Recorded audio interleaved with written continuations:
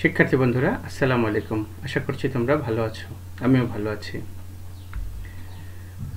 আজ আমি তোমাদের পঞ্চম শ্রেণির বাংলা বিষয় নিয়ে আলোচনা করব। শিক্ষার্থী বন্ধুরা, দেখো তো আমরা স্লাইডে কি দেখতে পাচ্ছি? মাটির তৈরি কিছু শিল্পকর্ম দেখতে পাচ্ছি। মাটির তৈরি শিল্পকর্মকে আমরা কি বলে থাকি? মৃৎশিল্প। দেখো, এসব সুন্দর করে তৈরি করা হয়েছে। শিক্ষার্থী বন্ধুরা, তোমরা নিশ্চয়ই বুঝতে পেরেছ আসলে আজকে আমি কি পড়াতে চাই তোমাদের? হ্যাঁ তোমরা ঠিক ধরেছ। আমি আসলেই তোমাদের শখের মৃৎশিল্পই পড়াতে চাই। আজকে আমাদের পাঠ শখের মৃৎশিল্প। গত ক্লাসে আমরা শখের মৃৎশিল্পর কিছু অংশ পড়েছি। আজ আমরা পড়ব মামা বললেন, তোমাদের কালকুমার পাড়ায় নিয়ে যাব। এখান থেকে শুরু করে মামা বললেন, সুযোগ মতো একসময় তোমাদের শালবন বিহারে নিয়ে যাব। এ পর্যন্ত আজকে আমরা পড়ব। আমরা সেখান থেকে শুরু করি। মামা বললেন, তোমাদের কাল কুমারপাড়ায় নিয়ে যাব। পরদিন আমরা দেখতে গেলাম কুমারপাড়া। আনন্দপুর গ্রামের উত্তর দিকে আট দশ ঘর বসত বাড়ি, এ নিয়ে কুমারপাড়া। এখানে সবাই ব্যস্ত। কেউ মাটির তাল চাক করে সাজিয়ে রাখছেন। কেউ বা কাঠের চাকায় মাটি লাগিয়ে নানা আকারের পাত্র বানাচ্ছেন।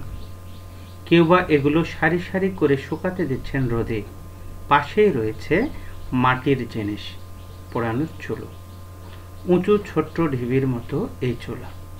মাটির পোড়া গন্ধ পাচ্ছে আর ধোঁয়া বেরোচ্ছে। ছোট ছোট ছেলেমেয়েরাও এ কাজ করছে। মামা বললেন, হাঁড়ি কলছে ছাড়াও আমাদের দেশে একসময় সুন্দর পোড়া মাটির ফলকের কাজ হতো। এর অন্য নাম টেরাকোটা। বাংলার অনেক পুরানো শিল্প এই টেরাকোটা। নকশা করা মাটির ফলক ইটের মতো পুড়িয়ে তৈরি করা হতো এই টেরাকোটা। শালবন বিহার মহাস্তানগড় পাহাড়পুর, বৌদ্ধ বিহার, দিনাজপুরের কান্তজির মন্দিরে এই টেরাকোটার কাজ রয়েছে। মাটির ফলকের ছবি এঁকে শুকিয়ে পড়ানোর পর এগুলো এমন সুন্দর হয়ে ওঠে। ছোট ছোট ফলককে পাশাপাশি জোড়া দিয়ে বড় করা যায়। পোড়ামাটির এসব কাজ এদেশে শুরু হয়েছে হাজার বছর আগে। আজকাল কি পোড়ামাটির এই শিল্প চর্চা হয় না? আমরা মামার কাছে জানতে চাইলাম। মামা বললেন, আজকাল ওরকম টেরাকোটা হচ্ছে না, তবে পোড়ামাটির নকশার কদর বেড়েছে।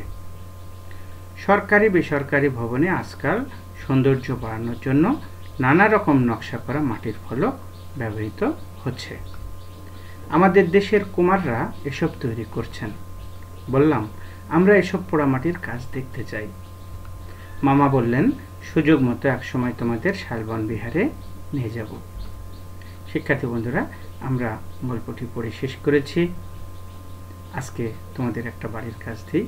কুমারপাড়া তোমার কাছে কেমন লেগেছে তা জানিয়ে তোমার শ্রেণি শিক্ষকের নিকট একটি পত্র লেখো।